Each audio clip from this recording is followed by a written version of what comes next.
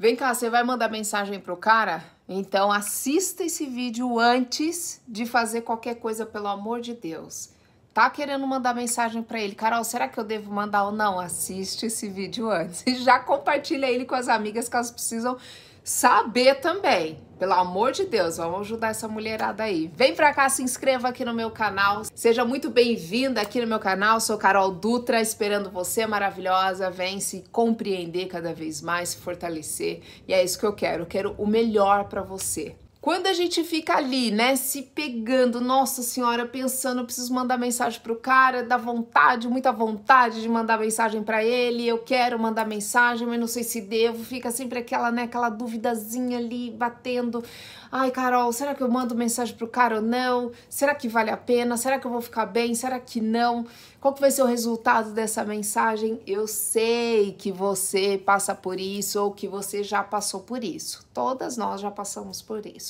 Porém, antes de mandar mensagem, uma mensagem, seja qualquer que for, né, para a pessoa, aquela que for não, mensagem pro boy.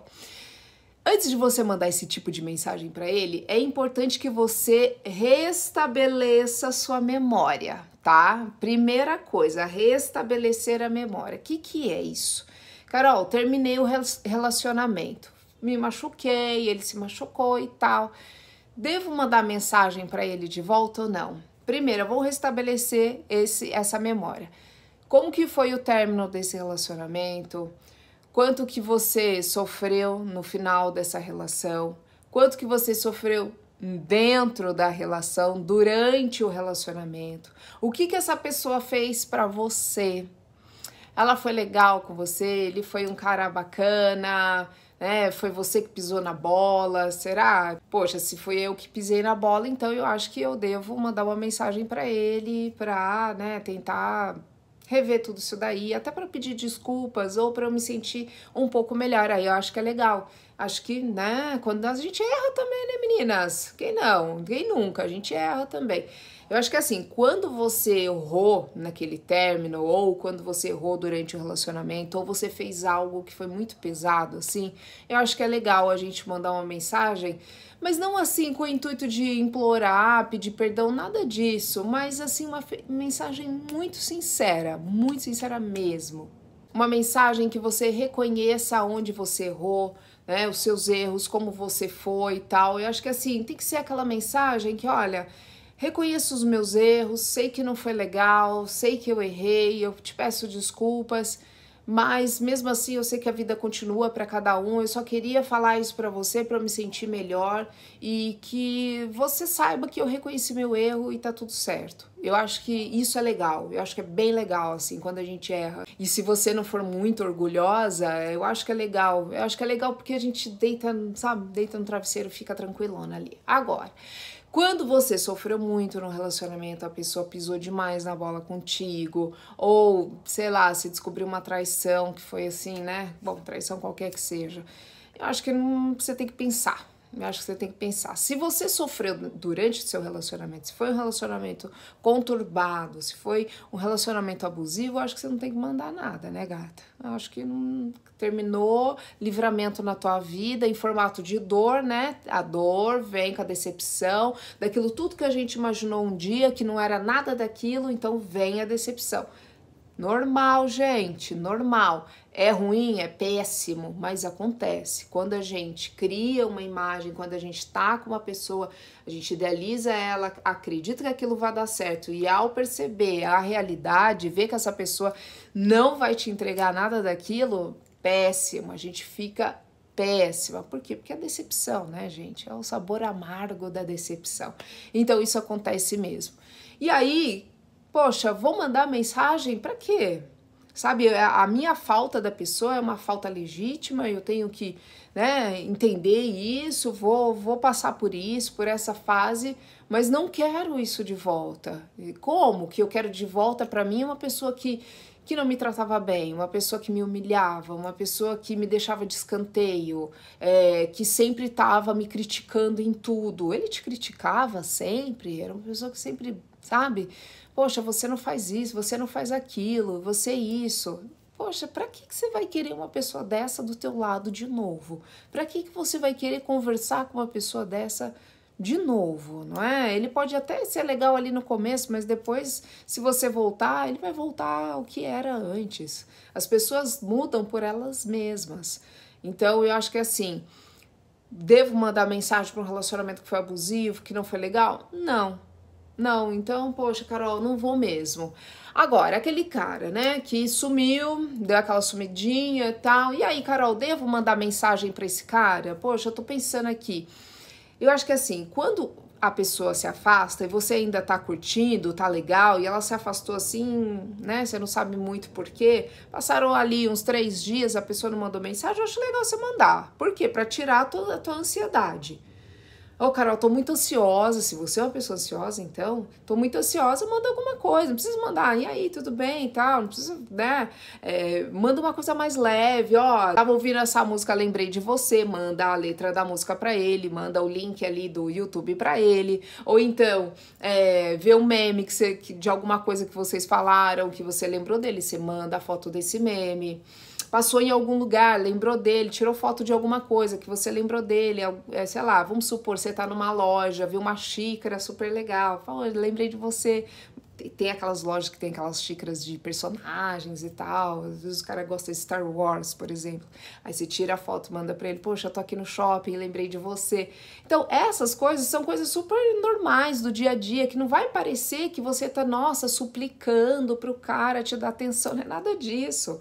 Poxa, passei num lugar, lembrei de você, acabou. E aí ele vai falar, poxa, que legal, e aí, como é que você tá? Se ele tiver interesse. E aí você vai falar, pô, tô bem, e você, como é que você tá? Tá, vamos ver se a gente se encontra, não sei o quê, papapá, e vai rolando e vocês fazem ali um, um link para esse encontro, né? Nessa conversa sempre puxa um link para o encontro. Então, vale a pena. Agora, Carol, o cara já não tava nem aí. Passaram-se 20, 30 dias. Vou mandar mensagem? Não sei. Será que vale a pena? Será que você não tá num momento ali de carência afetiva? Por isso que você tá querendo mandar mensagem para ele? Ai, Carol, tô meio downzinha aqui, tô meio para baixo. Tô, tô naquela fase do mês que a gente fica mais, né, quietinha e aí tô sentindo muita falta dele, será que eu devo mandar mensagem ou não? Aí você vê lá, stories do cara, o cara só em festa, embalada e não sei o que. Ah, tá, né? Pra quê? Às vezes o cara, sei lá, vai ver a tua mensagem, nem vai responder, vai responder depois, aí você já mandou, né? Ai, a gente se arrepende pra caramba. Fala aí, conta aqui nos comentários você não se arrepende. Mandou mensagem, o cara não, não visualiza, ou se ele visualiza, não responde. Péssimo, né? Péssimo e a gente fica sentindo mal pra caramba. Só que aí mandou, errou, deixa seguir. Vai ter que engolir ali, né? Vai ter que engolir aquela coisa, mas vai ter que deixar seguir. Então, o que, que é bom fazer? A gente pensar na relação e na pessoa. Antes de você mandar uma mensagem para a pessoa, você tem que pensar como que tá essa relação agora. Poxa, tava super legal, não entendi, o cara sumiu de uma hora para outra. Se isso estivesse te angustiando demais, você pode mandar esse tipo de mensagem, uma mensagem mais light para ele, para como quem não quer nada, tá? Agora, Carol, o cara me tava me tratando mal. Toda vez que ele chamava para sair, eu tinha a iniciativa de convidá-lo para sair, de fazer algum programa, era eu, sempre eu forçando alguma coisa. Então, gata, tá mais que na cara que você não deve mandar essa mensagem. Outra coisa, meninas, pelo amor de Deus, pelo amor de Deus, mandar 500 mil mensagens pro cara, não façam isso, não façam. Às vezes terminou o relacionamento, o cara já falou que não quer, né, que já tá, já tá na dele e tal. Gente, a gente precisa compreender o final de um ciclo, a gente precisa compreender esse término. A pessoa já falou que não quer, a pessoa já te cortou de alguma forma, a pessoa já demonstrou de todas as maneiras que ela não tá mais afim. Não mande mensagens. Todas as vezes que você for mandar mensagens, você tem que perceber nessa troca de mensagens se você não tá mandando muita mensagem sem que o cara tenha tempo de responder para você. Ai, é se você está sendo, se você tá sendo muito ansiosa, porque essa ansiedade ela pode te atrapalhar e muito, e muito, tá? Isso passa o que para outra pessoa? Essa ansiedade, ela pode afastar a outra pessoa. Ela pode olhar, você imagina que imagem que ela tenha de você, que ele tenha, né? Que ele olha lá 20 mensagens uma atrás da outra, tá em completo desespero, né? Uma pessoa desequilibrada até. Então, gente, eu sei, a gente tem que segurar, respira.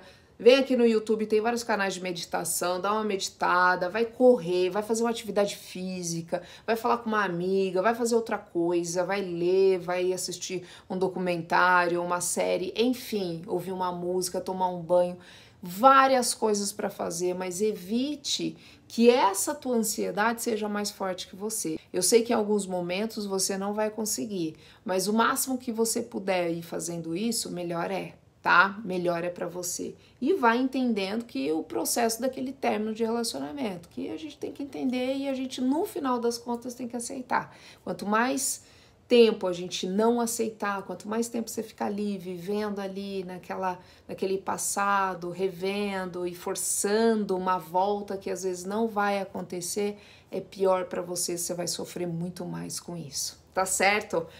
Pegou? Bora lá, hein? Vou mandar mensagem pro cara. Hum, será que devo? Será que não devo? pensa duas, três vezes antes de mandar mensagem para esse cara. Tô lá no Instagram caroldutra.oficial e também no TikTok Carolina Dutra. Super beijo para você. Amanhã eu tô de volta. Até mais.